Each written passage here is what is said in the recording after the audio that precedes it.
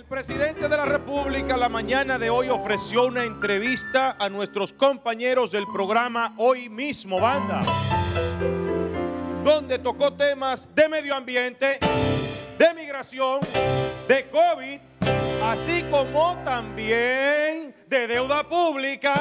Padre mío. Y no menos importante, de combustibles.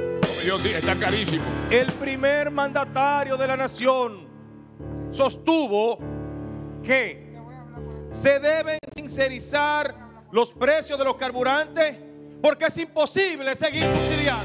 Oh, mi Dios, hay que Vamos subir arriba, un chin más. Suena Adelante. interesante. No te puedo decir que, que estamos preparados. Estamos preparados para que te suba un poco. Pero, eh, por ejemplo, ayer subió a 83 dólares el barril, el. Brent, y a 81 el West Texas. Eso implica, señores, que, que vamos a tener que ir también eh, siendo transparentes porque no vamos a ¿Usted va a poder sustentar lo que usted hace de subsidiar? no, eh, no, es imposible eh, continuar. Nosotros subsidiamos el, el precio del petróleo, digo, con todos los hidrocarburos, Sí. el año pasado Y por, se congelaba el precio de la, por del unos combustible. 13 mil millones. ¿Y ahora? No, eso es imposible continuar con eso. Ay, Eh, es lo oyeron, ¿verdad? Eso duele, Julio, eso duele. El presidente, en la sinceridad que le caracteriza, lo dijo. Es imposible continuar subsidiando los carburantes al actual precio en el que se mantiene.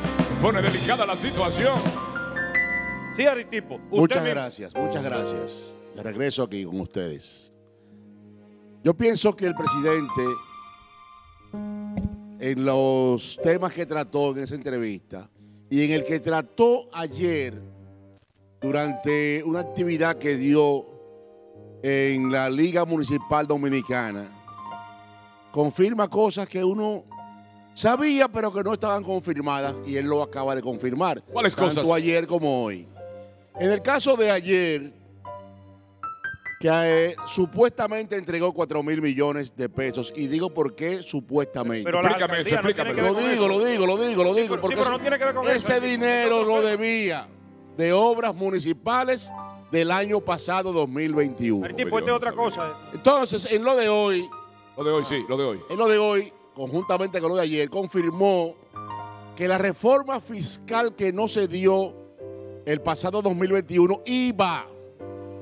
Él le dijo a este país que de ninguna manera podía ponerle más carga impositiva al pueblo dominicano. Pero dijo que iba ayer, que no la pudimos hacer. Que no la pudimos hacer.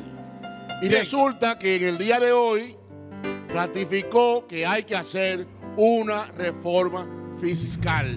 Este país no aguanta eso. Oye, vamos, vamos, eh, yo, eh, que, eh, el tema, mira, no puedo hablar de lo que el presidente dijo en la entrevista del día de hoy porque no la he visto ahora. Cuando se habló del tema de la reforma fiscal, que en ese momento encontró mucha resistencia de la gente en medio de una situación en la que aquí o se planteaba la- el, el endeudamiento, la reforma fiscal, cualquiera de las dos son malas, porque ni se crean que, va- que, no, que nos parece que el asunto es bueno.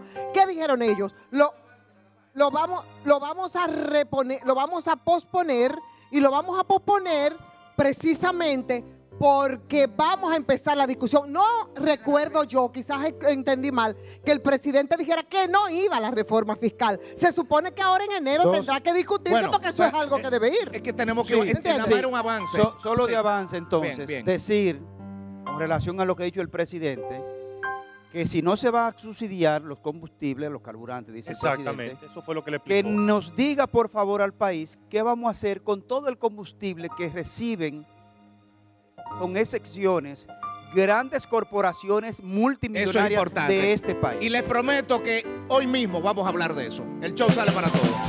Saliendo para todos este programa de televisión que a esta hora tú decides ver. Gracias.